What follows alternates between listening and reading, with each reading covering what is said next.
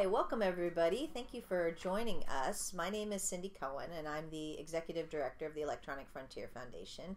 And with me is one of our board members, Jonathan Zittrain. Um, and uh, we're here today to try to talk a little bit about what a positive future for tech might look like. Um, I picked this topic, and Jonathan kindly agreed, um, because I feel like we are in a time where people are inundated with all the bad parts of tech and all the ways that tech is disempowering people, it's violating our privacy. We've built this surveillance business model that is tracking everybody. Facial recognition is very scary. Um, there's all sorts of negative things going on, but we're not going to throw away our phones. We're not going to throw away our network. And we need to start thinking about how we get to a tech positive future because I firmly believe that we can't build a tech positive future unless we can envision it. And I've been kind of joking that I kind of want to move past uh, the dark mirror time and back to the Jetsons uh, as a way to get um, all the people who care about tech passionately. You're listening to us over tech right now. Um, there are certainly people who'd like to throw it all out the window, um, and um, I can understand why you might get there, but I don't think that's going to happen. So, what are what are the what are the ways we can build a tech positive future? What are the pieces that we need to put into place? I think if we start thinking about it that way, it becomes really clear where the obstacles are and where we need to go forward. So that that and Jonathan was very game to uh, join me in this conversation. Uh, Jonathan's also the head of the Berkman Klein Center at Harvard, a Harvard law professor, and um, uh, well known for um, uh, teaching you about law while making you think you're in a comedy club. So, uh, so uh, I'm really excited to have you here with us today. Thanks for having me. Yeah. So let's start from my, my fundamental question. What do you think a tech positive future looks like? Uh, I think it would have both nouns and verbs in it. And by nouns, I think of uh, it's so funny how we have to struggle not to put it euphemistically.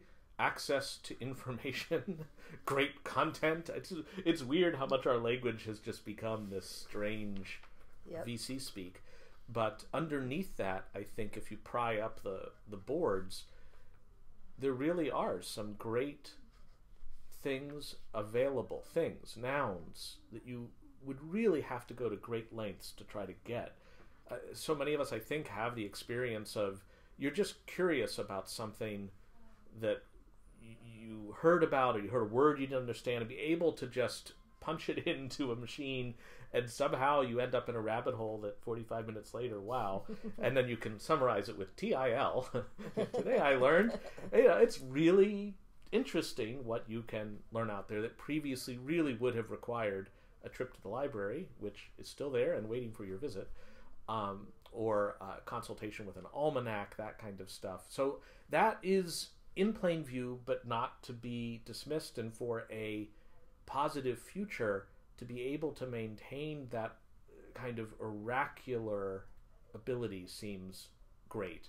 Uh, uh, with all the caveats that I know uh, come from daring to use a word like oracular, and then uh, verbs. Uh, the the possibility of creating new relationships with people that you would never have a hope of encountering. Mm-hmm. Either people like you to reinforce stuff that you're interested in and that maybe the people happen to be directly next to you aren't, or people who aren't like you and a chance to see, I see the world is a lot different than just what's within my reach.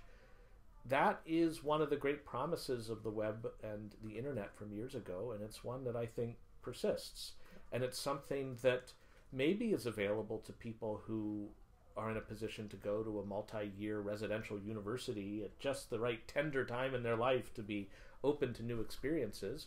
Uh, that's something though that should be available to everyone, and there really does remain the great promise of that. And it's just uh, you know again I can feel the asterisk appearing in my mind as I say it. We we know all the downsides of it too, but those seem to me like two key poles, noun and verb, of a positive future. I think that I, I completely agree, and I think that the piece, um, the third piece for me on on all of those is control, privacy, um, security. That that these are systems that serve you, um, and and and serve people uh, rather than um, serving other goals. Yes.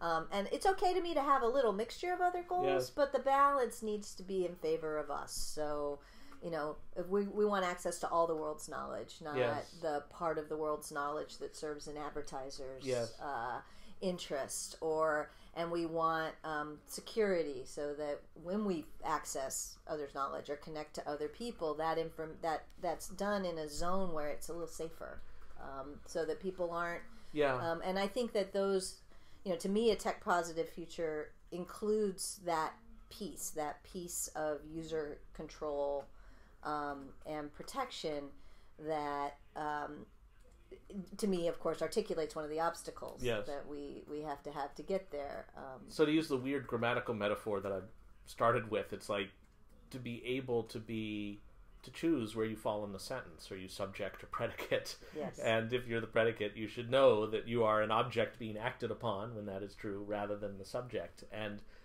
uh, it's true to be able to think of it as an individually empowering, fulfilling experience would be key to that. And it's true that a lot of technologies over the years have been really good at giving the appearance of that while there's a lot going on uh, that makes the deal balance out that are not respecting what people either choose or would choose, uh, uh, whether or not they're presented with an actual choice. I think that that's right, and I, I, I, I just feel like that piece is that that to me really articulates the the work that we need to do. But I, I completely agree with you. I mean, I fell in love with the internet because of you know the the place that all the misfits, the people who are actually living in a place where they don't fit in anywhere, can see a world outside of that. Um, and um, and learn things that are beyond what might be available, the the limitations of physical space. And I, I feel like sometimes it's become so we become so used to this instantaneous communication with people all over the world that's pretty much cost free um, that it doesn't seem like a new or cool thing anymore, and that we can lose the value of it. You know, uh, the, you know, uh, resources like Wikipedia that, that give you this, uh, the ability to to connect. Um, you know, the way email works, no matter what system you're on, no matter who you've pledged your fealty to, whether it's Apple or Google. Like your email will go through, right? Because of the way that that protocol isn't controlled by anybody. Um, those kinds of things are kind of um, they get hidden in the current world and i think unless we pay attention to them they, they may not stick Well, I think you're right that years ago we thought the way to get things done at scale, there's some ways to do it publicly, like building a public road. There goes the information superhighway metaphor. um, to do it privately, to have Elon Musk provide it, or some other arrangement that harnesses the forces of the markets to do it.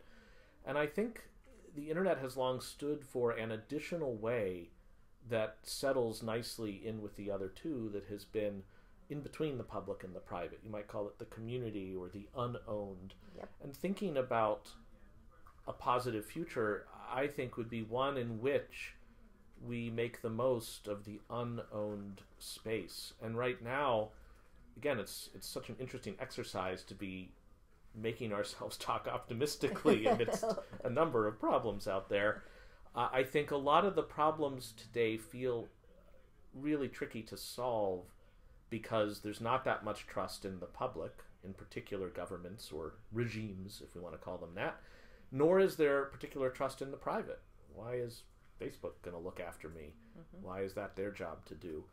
Um, and I think the this extra space that involves our taking on responsibilities and some kind of ownership, each of us, uh, is an underexplored piece of potential solutions. It's not a magic wand, but it's a neat extra area that uh, the internet has brought out for us. And it's also a quick highlight as to the kind of work I think that EFF does um, has such a big chunk that is uh, defending against impingement upon rights by governments. Yeah. But there's also a realization that as power finds places to repose all over the place, not just in governments but in private companies, then a source of impingement might be a private company or a flash mob or something else.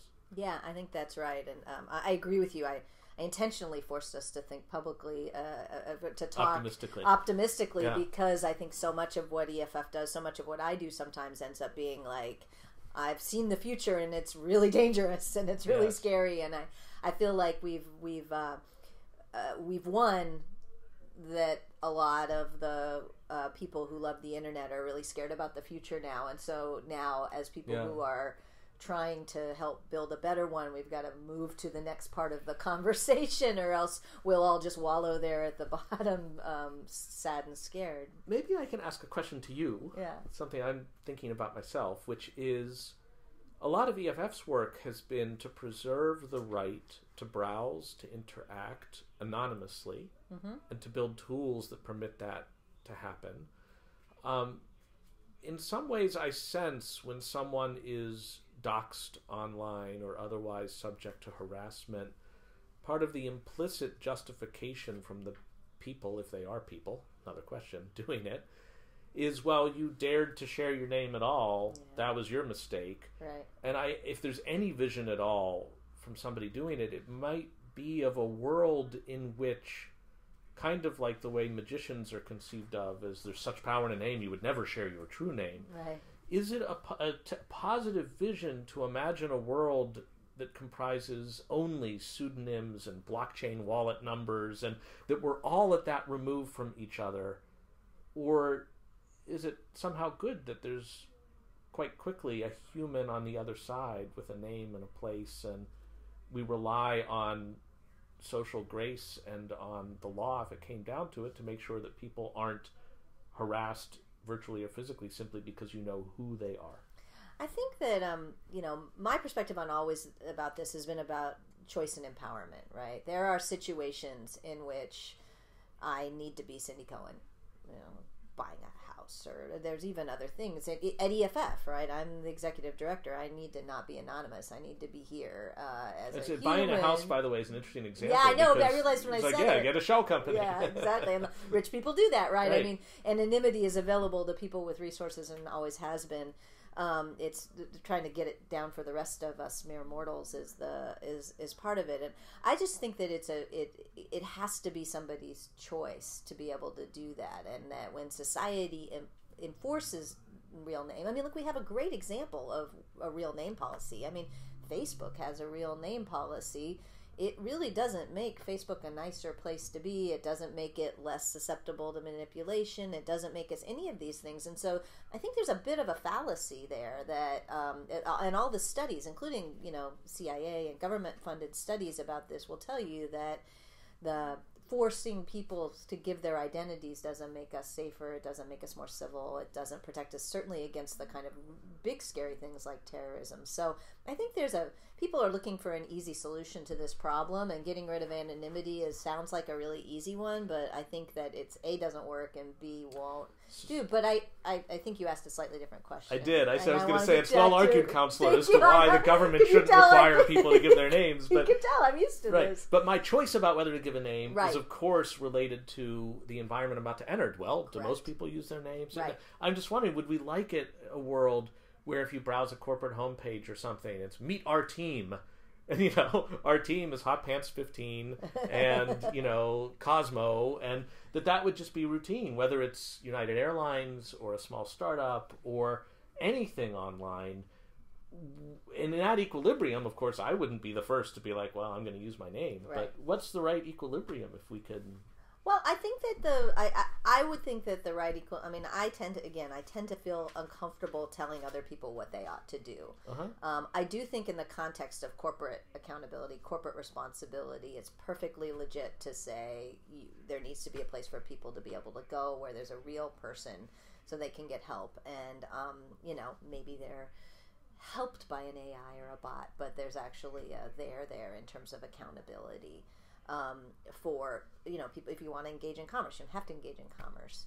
Um, or other, you know, there's other rationales where you might want to do that. But I think that's just a small piece of the world, and there's so much else of the world where you don't want that to be enforced.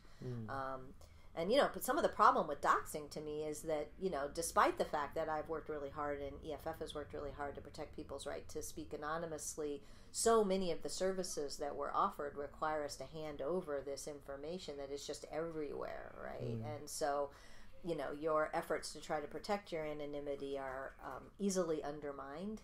Well, Um, it's it's of course in a way the potentially the worst of both worlds. That I I'm handing it over because I'm a good doobie, so I obey the real name policy on Facebook, which could make a target, but then the person attacking right, is using various layers of right. anonymity and right. Yeah, but the you know the the the good news, bad news is that that anonymity is pretty fragile, even for the bad guys. There just aren't very many situations in which, you know, uh, if you had law enforcement or uh, uh, even private parties who were willing to try to help figure out who it was, you couldn't. Mm. Uh, those, you know, and I, sometimes that's bad news for me because it means that you know we help people all around the world. We help journalists. We help other people who are Yes. trying to get information out of very dangerous, where lives are in danger, and their anonymity is so fragile. We Yes. we, we just helped uh, uh, somebody in a, a foreign country who was um, getting information out and. Uh, subpoenas, you know, the, the, the, the government that was mad at them brought a, I think, somewhat shammy uh, lawsuit in the state of New York. Got subpoenas issued to Google and a bunch of the other ones. Um, and you know those, uh, you know, one of the big tech companies said no, this looks fishy to me. Another one didn't. Mm. IP address goes out. Mm. The the person's life was in danger. So you know, and, and some of again, you know, it, it, I feel like um, those situations are tremendously important, and Yes. if we throw those away because you know someone's not nice to someone on the internet, or even situations like doxing, which are much more serious, or Yes. those kinds of things are much more serious. Like we have to be able to strike the balance better. Now that's a, part of the story you just told was a story of a government Yes. up to potentially no good, in your legal term of art, somewhat shammy. Um, and I'm thinking about that and wondering as we're trying to again envision a positive tech future, is it one, in the words of EFF co-founder John Perry Barlow, um, governments of the industrialized world, you weary giants of flesh and steel, I call on you in the name of. Uh, modernity, uh, Something like that. Name of the future, not the past. I Yeah. ask you to leave us. We ask you to leave us alone. Good job. And uh, it's funny that the way in which we've thought about the demand to leave us alone would be previously was just don't regulate us. We're working things out here. It's not perfect, but you know these are going to be our solutions to our problems. We're building a new civilization of mind. Yes. And the interesting maneuver of the past couple of years by governments has been not to involve their regulatory apparatus as much as just participating in that civilization of mind as anonymous doobies with the great resources of a state and the implacable goals of a state that may not even have to worry about economic uh, balancing the books and is the world that we are envisioning, whether it's anonymous or not, one in which I know if I'm talking to a state sock puppet? Yeah, I I mean I think it has to be, but those are Yeah. the things we have to do, right? Because for all the reasons you say, like it's not the same, right? Yeah. When you're a government, um, uh, than when you're just another person, and so I think there has to be ways that you understand. Honestly, I think there has to be ways that you understand, you know, roughly who you're interacting with a lot of the time. But um, for governments, it's especially hard. The scenario happened to be a government, by the way, but of course we've seen this in civil cases all Yes. the time, where Yeah, yeah, people yeah. bring a civil case and then issue a subpoena to the Googles or Facebooks of the world and get the identity of somebody who they're mad at, either directly or through Yes. IP addresses and Yes. things like that. So, um, but you know, I mean, uh, back to to Barlow, who you know, really unmatched in terms of his ability to bring beautiful imagery to. Uh, to uh, uh, packet switch networking um, is uh, it is this you know the kind of fundamental question about whether you know the the internet would be better if governments just left it alone. Um, Barlow never really thought that that was going to happen. He was trying to create some space so there could be something other than To envision a world. there. Yeah, and he, you know he always you know he always said I wanted to give you know freedom a chance because I knew the forces of repression were Yeah. going to come. um, and um, and so he also, you know, the 1990s.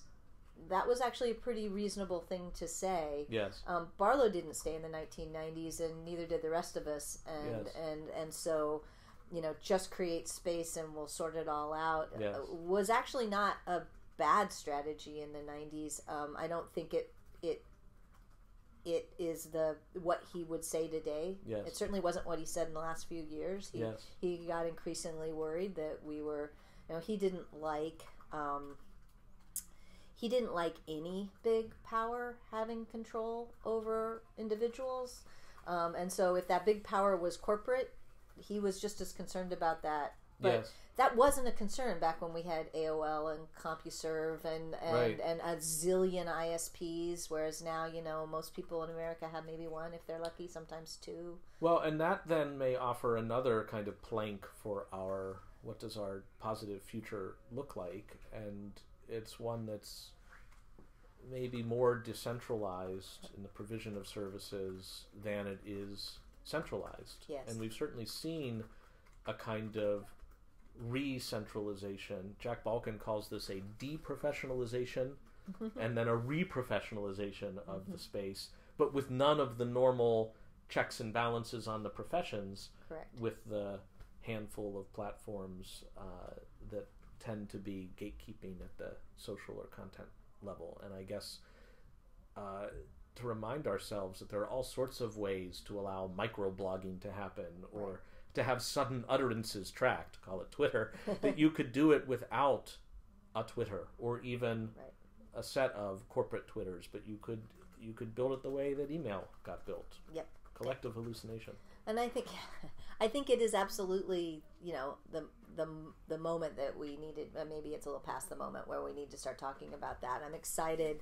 Um, our friends at the Internet Archive are hosting the Decentralized Web Summit next week um, here in San Francisco at the Mint, and um, there's going to be a, a track that's law and policy along with a lot of building, but um, you know, the archive uh, and long clients and friends and, and close collaborators with us at EFF, um, recognizing this need and trying to build a space where people can come together and talk about a decentralized web. And, and lots of us, lots of us EFFers will be there talking about various pieces of it, um, especially some of the legal barriers. And you know, there's big ones like antitrust law is Yes. not up to the challenge Yeah. of the way the world looks now.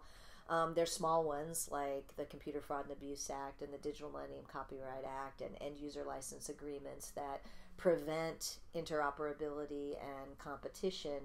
Um, and we have to think about all of those things. But I think that the goal of making a, a an online experience that isn't beholden Yes. to a few uh, big corporates, it's really important. It's important for society as a whole. For me, as somebody who's primarily got expertise in civil liberties, when you're talking about speech and privacy and control, and this this subset of a really good world is the part that EFF, Yes. you know, with our with our phalanx of lawyers and technologists really have expertise in. Um, they all turn on the same problem. It reminds me too uh, of a very old case, eBay versus Bidder's Edge, Oh my goodness, yes. in which somebody went to scrape eBay auctions and Yahoo auctions. Remember Yahoo had auctions? Do you remember Yahoo? And uh, then produce an Uber auction site. Remember when Uber didn't mean Uber? yeah, I know. and there you could go there instead of just having it be eBay, and eBay was able to beat that back under state common law, and uh, as a result, trying to build umbrella sites that could pull in little sites at the same time became much more difficult. Yeah, it's more difficult, and we've we've Yeah. worked on scraping cases all the way through. Now there's a big one Yeah. involving LinkedIn trying to Yes. block out somebody who is uh, Yes. Who was trying to build one. We a, a few years ago helped a little organization called PadMapper that tried to add. You know, it's not just they're scraping to do something the same thing, and they're scraping to do something different. And Yes. in the PadMapper case, this this person was trying to add uh, maps onto Craigslist apartment ads, right? Which you know Craigslist was kind of slow to do that for for reasons, and so somebody's like, I can add in, and then Yeah. you can see where this apartment is, Yeah. not just and um, you know got sued out of threatened out of existence, and so so for both the you know multiplicity of options, but in terms of services you use, but also letting people add, build on the, stand on the shoulders of giants, right? Build Yes. extra things. Both of these things are tremendously important. I just want to acknowledge there the complication of that with something like the Cambridge Analytica story, Yep. which is oh, Facebook is really centralized, but eh, gosh, it ought to allow third party apps and Yep. scrapers and such. And if it's not going to be a direct scrape, then a user with you know consent could click through and say, yes, grab my data, third party. Yeah. Third parties can build all sorts of cool tools, and then this is why we can't have nice things. And our desire for autonomy and privacy now runs up against in conflict with our desire for a fully interoperable let the data flow kind of web yeah, um, you know, it's it's complicated. yeah Uh, we just published a piece a couple days ago by uh, one of our uh, one of our techs about Yeah. you know some ways that you can build interoperability um, and let this happen without running all the way to the, the you know the, the the problems of Cambridge Analytica. You know, right now what we have is these big corporate giants want the best of both worlds, Yes. right? They want to give their data to people when to to third parties when it serves them and make sure that they can't have access to our data when they might compete right so we, we're in the worst of those things. Yes, so there are hard problems along the way, but it's not like they're not sharing our data. well data i always now. thought it'd be interesting if the solution turned out to be a form of dare i say the word digital rights management with the user as if the publisher Yes. being able to parcel out the data and even to yank it back or after you parcel it out it's 10 o'clock where did it go Mm-hmm. to have some form of audit trail all the stuff that has traditionally been detested when it's some record company trying to make sure that every last ear has paid before it hears a song Yeah. might be turned around for privacy Well, I mean, there's lots of tools where if users are in control of them, I'm much less worried Yes. about them than when they are not. Yes. But we also have to face reality that that, that world is a tough one to build. Yes. Not that we don't try, but uh, you know, I should say too. I see we've been handed some post-it Yes. notes, so those are questions uh, from the virtual world. I also just wanted to remark when we think of decentralizing the web, at just the very basic level, the idea of the web is a set of links. You click on something, and you never know once you click in whose basement server your bits will then be landing.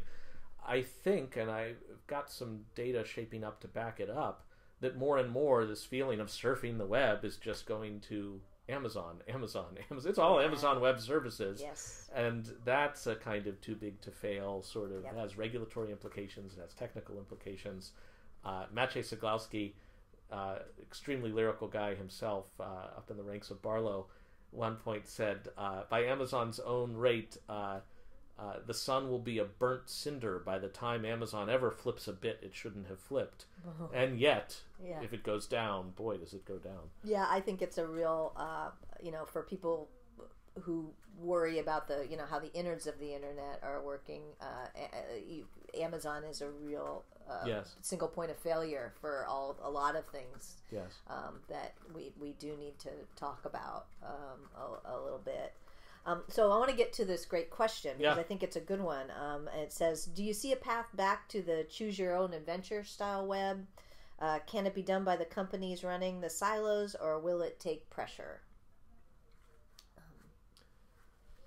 Well, uh, I'd be interested to hear more about a choose your own adventure web. I think that's a quote from me. Is that right? Yeah, oh, well yeah, then I think that's you somebody should who, uh, uh, you should unpack that. who uh, very nicely is quoting me back to myself. Yeah, I said that uh, in a in a recent interview that I thought you know in the in the 1990s we had a choose your own adventure style web, and now your adventure is chosen for you by um, specifically referring to the you know kind of Facebook algorithms that decide and Twitter's algorithms, but Facebook's primarily that really uh, decide what you see, and the fact that you know a lot of people people are increasingly recognizing that just being friends with somebody on Facebook doesn't mean that you actually get to see what they post. That that Facebook is interposing itself in between yes. and picking the things that come up in your feed based on its interests, not necessarily yours. Well, and I should say, when we think again back to the '90s, I, I I think our implicit sense was when people go online, they have some mission in mind. I want to buy a plane ticket. I want to learn about something. I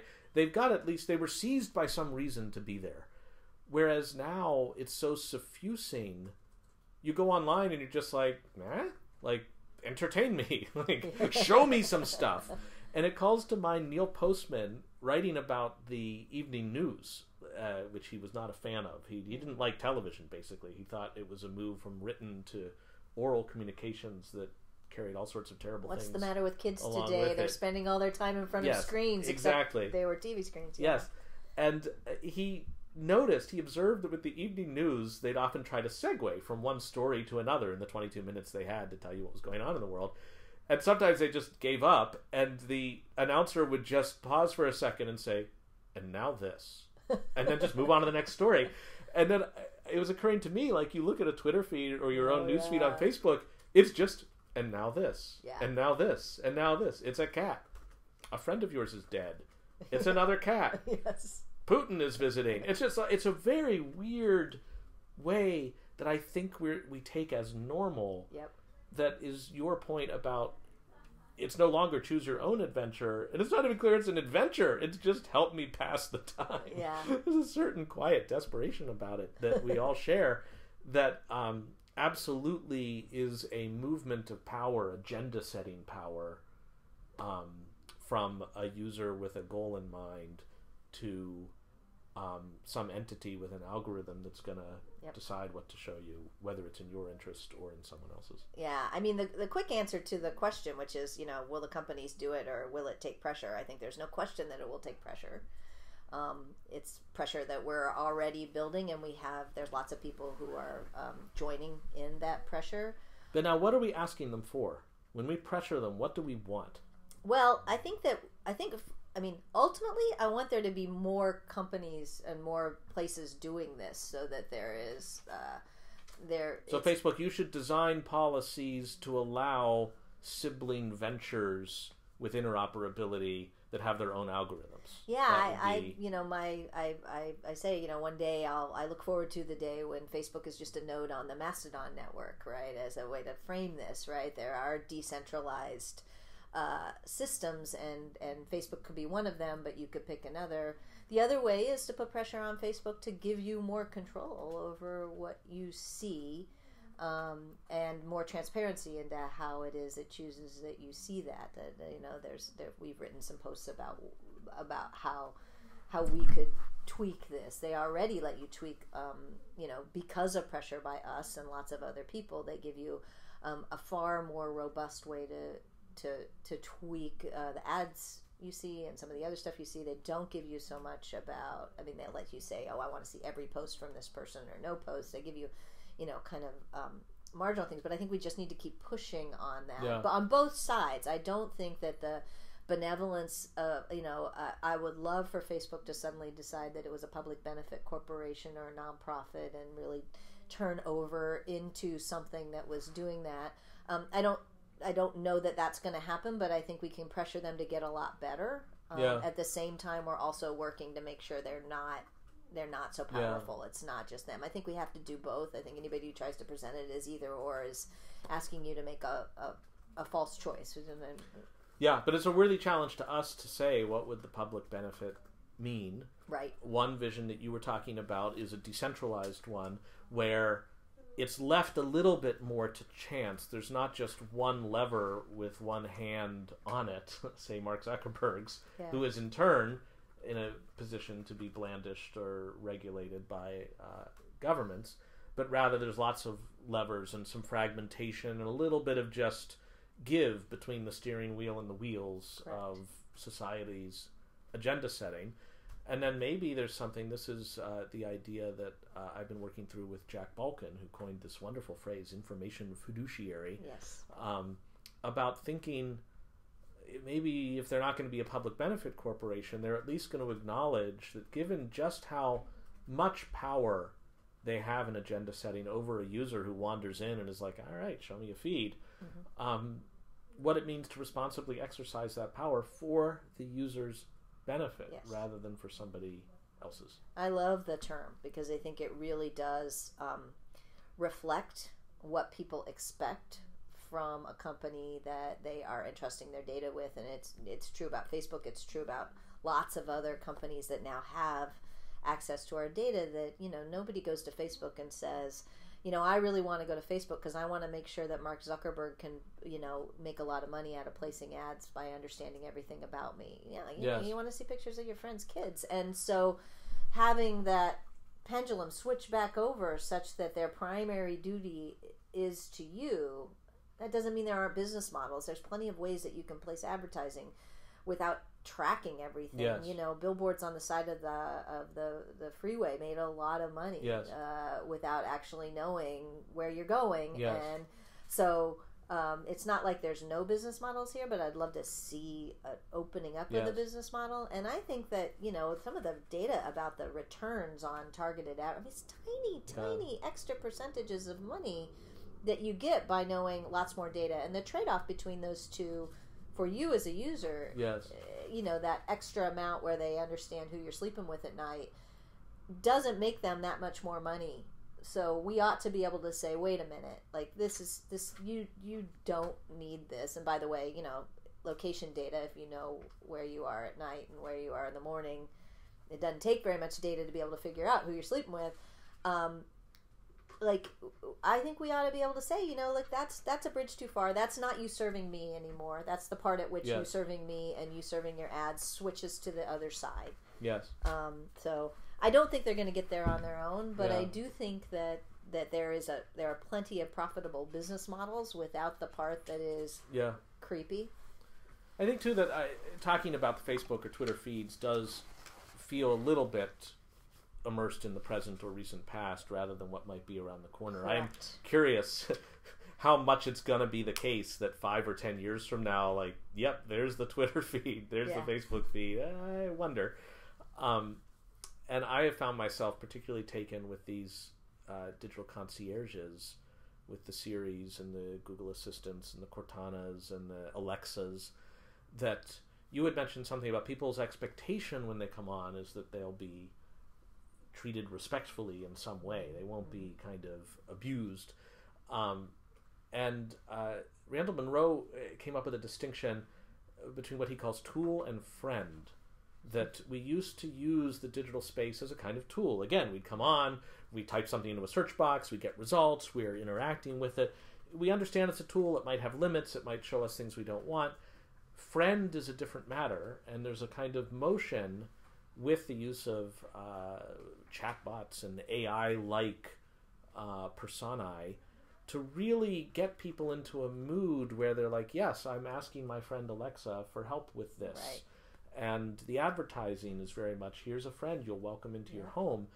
And it's just, all right, there are certain duties of friendship. And uh, it would not be, you know, sometimes friendship gets uh, uh, monetized. I, Tupperware party is a phenomenon of many years ago, Yeah. but like the idea that you'd invite all your friends over and then try to force plastic upon them was, you know, it was an abuse or use of friendship uh, that is like a constant Tupperware party now online with Alexa or something. And when Alexa says, "Oh, do you want to do X?" I can't tell. Well, wait, are you getting a commission for this, Right. Alexa? This would be a great time while there's still marginal curiosities uh, to put down some ground rules about the boundaries of friendship. Yep, I think that is a great way to think about it. I do think that's how people think about these services, and you know, the the the other piece of this is that I, you know, I love tech. Like I want computers to help me. Yes. Like you know the, you know the answer for a lot of people is just don't do it. Don't put one of those in your home. Don't do that kind of stuff. And I, I don't have one in my home yet because the deal isn't the deal I want. But I, that's. I want a deal that works for me. I like computers. You want the help. Apple Butler from the 1989 video? Oh, yeah. remember that one? Yeah, or, or you know, the Jetsons. I'm Yes. serious about the Jetsons. I know that make, makes me old, but I am. It's just weird that the Jetsons is a skin on the Flintstones, so it's both a past and a future. Well, thing. it's also Yeah. you know like the gender issues in the Jetsons. Don't get me started. yeah, There's yeah. lots of bad things about the Jetsons too. But yes. um, so I got another Should the Jet question. Yeah, Sorry. we we can update it. We can do Yeah. it. Um, is the question is should the U.S. take an example from the EU data laws? Um, and I think that there are lots of good things in the EU data laws, and there's some really things that I am not comfortable with, and there's some things that are um, that are going to create some tensions in this um, that I I'm, I'm you know when we're talking about trying to build a world where there's a lot of competitors to Facebook, where there's a lot of other options for Facebook, some of the EU data protection laws. We're going to have to get them interpreted in ways that we make sure doesn't make that harder. For your Cambridge Analytica example is a good one. Um, if the answer to that is, well, once you have data, you can't do anything else with it um, except in some pretty extreme situations, then if that isn't interpreted to make sure that we also allow people to take their data and go or share their data with something else, then we're going to end up enshrining some of these big companies. You can you can build a regulatory system where you make sure Facebook is the last social network we will ever have. And I don't think that the EU data protection laws uh, they're certainly not aimed at doing that.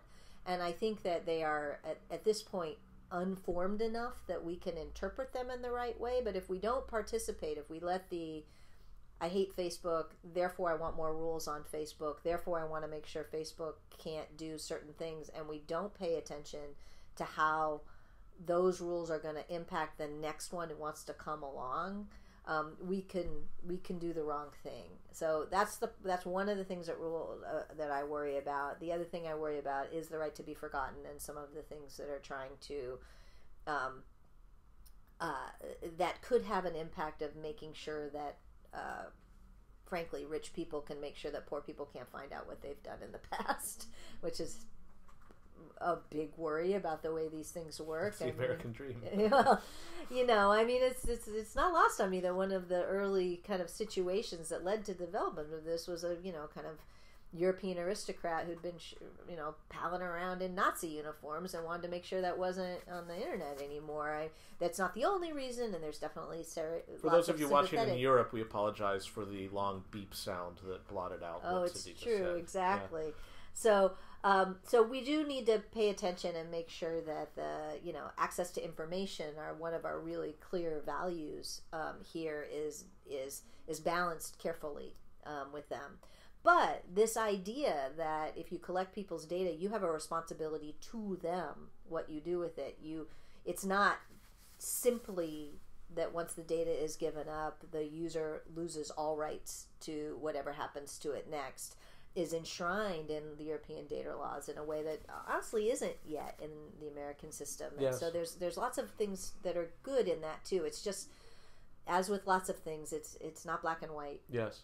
On your point about the right to be forgotten, I agree with you. It's a it is a response to a genuine problem whose implementation is absolutely terrible. Yeah. Uh, especially given that it drops into like Google's lap, having to decide whether something meets this balancing test. It's not being publicly decided, and if Google should decide that it stays, they could face huge penalties if they're wrong. If Google decides that it goes, they face no penalties and it's gone and nobody knows it's gone.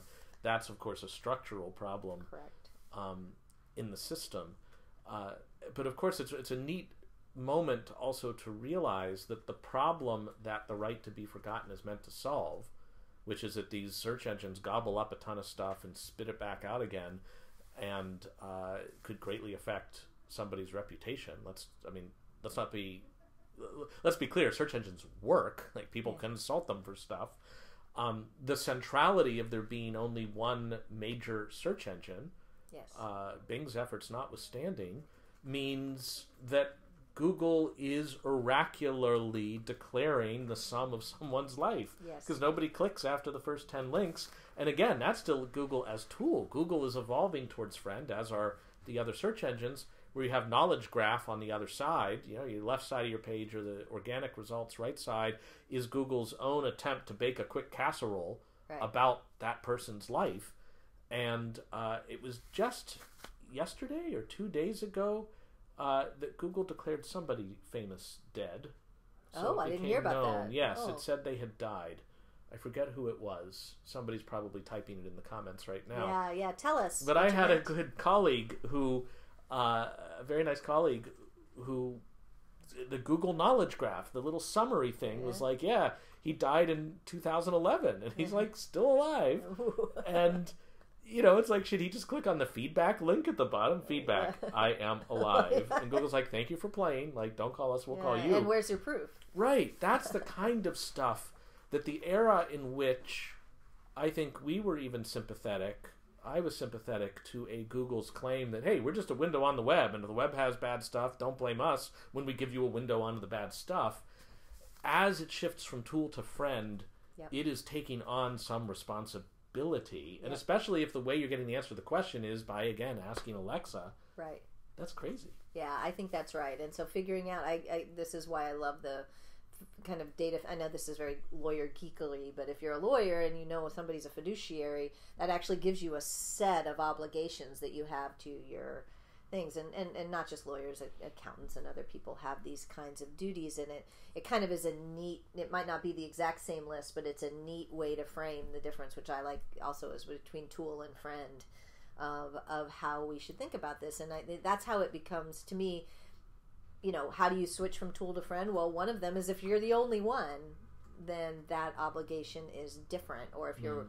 you're the overwhelming majority one um, Yeah. you know the the those are the kinds of things that um, go to whether you're one to the other um, so that's i think that that's exactly right um, let's see. Um, let's go back to my. We we strayed far from my original question. Um, well, the other one is you know we're we're in a time now when um, when free speech online is become uh, well i actually think it's a there's a there's an autoimmune disorder going on right now where people who want us to attack our values are trying to frame questions such that free speech becomes something that we equate with nazis as opposed to you know nelson mandela uh, or any other of the values that we want. And i'm wondering um, if you're thinking about how how do we get to a place uh, you know what does our world look like in terms of free speech uh, you know our, our, our good tech future and how do what are the how do we get to that place given that right now we're really at a time when when um, there are active agents and we of course just saw them at hope this weekend who are trying to frame the question as if if you care about free speech you have to put up with somebody harassing people um, I don't think that's true, but I think that they are winning in terms of getting us to attack our own values as the problem. Yeah. Well, there's so many different directions in which to take that question.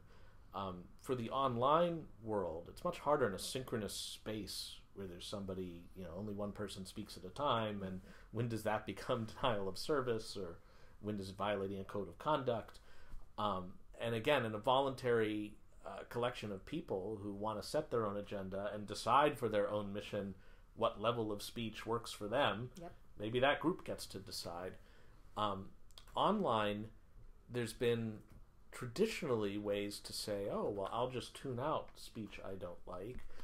But I think there's a sense of the harm that speech can cause that isn't just a spammy harm, it's interrupting my own workday, but that, oh, it's this person is telling that person something that will bear on me or on society, and mm-hmm. that person is being in some way taken advantage of. Mm-hmm. And my hope is it kind of gets back to the should states be able to play in our sandbox just wearing citizen hats?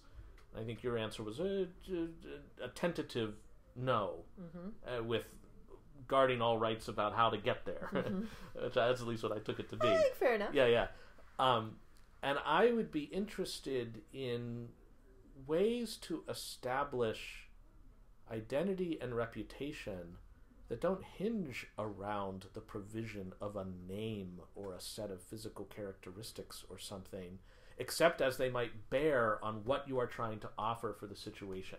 If you want to be able to say online, by the way, I'm a veteran and this is what I experienced in a theater overseas it might not be bad that there would be something you could offer, and this is where somebody online just shouted blockchain, um, something you could offer that would say yes, this person served, and maybe they want to say I served in somebody's military. I want to say I served in the American military. I want to say I served from this year to this year. To be able to parcel out and validate facts about oneself, or to say things that well whatever is true i will tell you i have never been to russia.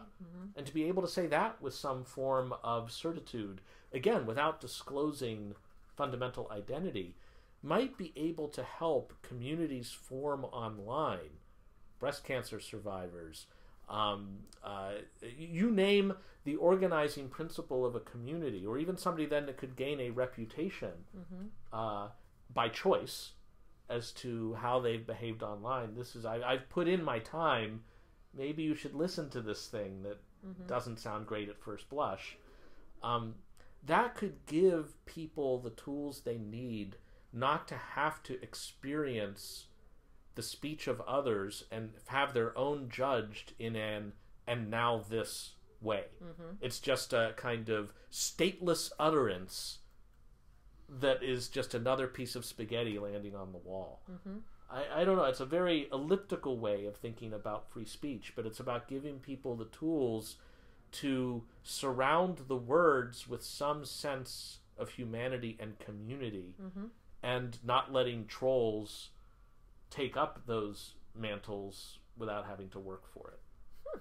I, I would be very curious. I know there are people working on versions of this, the know, some of the self-sovereign identity ideas that are trying to get at this, and I'm I'm curious to see how they develop. I, I admit that I have a hard time envisioning that, um, and especially envisioning it consistent with the kinds of needs for anonymity that people often have because we know re-identification is so easy Yes. um, and uh, so but I, I i think it will be uh, it'll be interesting to see if any of those kinds of ideas can gain traction and what what they do we're in this brave new world right of of interactions where it's hard to know and we've got you know agent provocateurs we've got people who are really trying to use uh, you know, we call it trolling online, but you know, somebody in, in looking at what happened at Hope was was pointing out that you know this is what the Westboro Baptist Church does, right? They go out in front of uh, a, a protest and they try to um, basically go go up to some line of free speech and try to get people to react against them, and then they're the victim, right? Um, and and trying to figure out how do we how do we recognize that when it's Which happening? then presents a case which will have the Supreme Court say of the U.S. make new boundaries on First Amendment or Right. not. right which which i think can Yeah. be very very dangerous for us because it Yes. takes people who you know care and and you know whatever the politics are you know uh, that you can imagine the politics on the other side as well although Yes. that's not what most of us are experiencing um, turn around and say oh the problem is fr- is speech Right. um, when of course you know for those of for, you know EFF has been tracking problems with speech online for the 28 years of its existence and the 18 years I've been there I will tell you people with less power are the ones who get silenced not people with more power and this is a weird switch now where some of the the people with power are are pretending like they don't have power and and, and challenging those things but it, it, that's not how it works most of the time. Most of the people who are silenced by this kind of um, uh, by asking a corporation or a government to come in and silence somebody are people with less power not people with more. But i think that trying to figure out how to how to recognize this when it's happening call it out because very often i mean certainly in the context of hope but in other instances it's, it, there's behavior going on here. It's never just the speech. Yes. um, there's a there's a there's a behavioral thing and you know harassment. You don't have a right right free speech and harassment or you know we've long coexisted with these two ideas one what we protect and one that we don't allow. So it's not like uh, you know the difference between um, uh, between those things are well seen in other things and, and I think people are trying to blur it Hmm. now but but my worry is uh, that there is a successful campaign and I don't I do think it's intentional to try to convince people that free speech is the problem rather than these assholes are the problem sorry it got bleeped somewhere they hate us for our freedoms. yeah Yeah. yeah so anyway it's a thing. So I'm, I'm told we have five minutes. So if you've got questions this is your last time. And i guess the other the other um, thing that that i wanted to think about with you was um, we've talked a little about free speech but we haven't talked about the kind of intentional misinformation. Um, and you know uh, I, I hear in your idea that that we give some kind of human context to people's speech online um, that that might be something that would also help with misinformation, disinformation campaigns online, um, and and ways to build a way in which you know people can tell the difference between, uh, you know, uh, uh, uh, somebody who's you know honestly mistaken or mistaken, and something that is you know not mistaken online and, and, and making that easier for people to understand. I mean, Yeah. you know, you know someone is wrong on the internet is always going to be true. Um, Yeah. But it feels like there's some weaponization going on around that, and and a lot of confusion. Well, in some ways, uh, this kind of bears on the tool friend distinction. I, I think that when people are online, they're going to have a variety of goals or modes in which they're online. And, you know, when you're watching television, it's one thing if you know you're watching the news, it's another if you know you're watching a football game. You kind of know what you're doing. Um, the and now this problem means that you're switching channels every five seconds. And if I'm arguing over some link that was shared from the Denver Guardian, not a newspaper, but it looks like a newspaper. It's a Potemkin, truly a storefront website with two articles meant to look like there's a lot of others, but nobody ever clicks through and they only read the headline. And it's shared on Facebook. Facebook drags the headline and a big photo and it says something false. Right. I think it is entirely possible that a lot of people sharing it or defending it don't think it's true or are indifferent to whether it's true. The data It's just a team exercise Yes. that if it's something against Hillary and they don't like Hillary, then, you know, if it's something against Trump and they don't like Trump, then that's just something they're going to share because it's just fun to do. And I, I keep envisioning, like, if right before the Super Bowl one year, they came out on the field and they're like, "Good news, everybody! There's been a negotiation breakthrough. We don't have to have a game tonight. The teams have come to a an agreement over who should win this year, and in fact, they're going to share the trophy. They get the base, they get the ball." Um, people would be disappointed. Right. Like they weren't. It was not a truth-seeking exercise. There, it was a game, and if you're playing a game then this is just another move in a game. And for somebody earnestly to be like, but the Denver Guardian isn't implicitly indicate what they're doing. Are they playing a game? Or are they actually trying to figure out for whom to vote in the election? Right. And you know, if one of the candidates is a murderer, that would be useful information as I cast my vote. Yeah. And in that case, there are all sorts of telltales, I think, that could be given, some of which are not with reference to the content. They're just with reference, say, to the source. The Denver Guardian didn't exist last week, just so you know. Right. I mean, there was a time in eBay when sellers who had just signed on had little shades, little sunglass icon next to them, which I thought just meant they were cool. But it was meant to be telling me that they are shady, that they are not really. If it's Oh, a I didn't even know. that. Exactly. If it's a flat screen TV, like, yeah, they got the shades. Maybe you shouldn't. Um, and I would love to see, like, Alexa actually have a tone of voice that could indicate doubt. So if I say, Alexa, what's 2 plus 2? Alexa says 4. And if I say to Alexa, like, you know, I, whatever the, some of the, the things that have been led astray on Alexa, um, is Barack Obama planning a coup? Was one of the famous questions that Google Assistant uh, back in the day answered yes. According to debate.org, you know, Barack Obama is planning a coup d'etat. They couldn't pronounce coup d'etat. and like the engineers are like, we have to fix the pronunciation. I'm like, no, that's not the problem. And it would be, you know, you could see Google Assistant being like, well, here's a sandwich I found on the street. You could eat it, but I, you know, like being able to convey that texture rather than the on off oracularness could be a way of helping. And the, and the last thing I would invoke would be uh, of all the institutions whose trust within the American context, but uh, true around many parts of the world as well, are at all time lows. It's like, who do we believe in anymore? It's hard to find among religious institutions, political institutions, community institutions. Uh, libraries are still way up there in trust, and for good reason. Now, maybe the minute they enter the fray, they're that drained that real fast. But it's just amazing to me to think that there is there are people who are information specialists. They went to school to know about how to find answers to questions and have those answers stick. I would love to see a Facebook or a Twitter if you encounter something to be able to press a button and say, "Huh, I, I'd be I'd like to follow up on that. I'm just curious if another shoe drops. It sounds like Hillary has killed several people. Just I'd like to know, you know, are there more? Are there fewer? Did it turn out not to be true? And if you click on that, um, it's uh, the, the Facebook would say, "All right, we'll get back to you." And if enough people are clicking with curiosity about it, there'd actually be uh, a team of librarians on call in situ where they are in libraries across the land often waiting for their next customer, uh, their next patron, and uh, they'd work together actually asynchronously. They'd at a distance. They'd work with each other and say, "All right, here's this thing claiming such and such," and they'd write up a little report, and you'd get to see their dialogue back and forth. uh, Maybe a three librarian panel. And then the report would come back to people who had asked. They're not being forced upon them, but you know, you were curious. Wouldn't you know? Here's what it turned out. It was the Russians. Nah, nah, what are you going to do?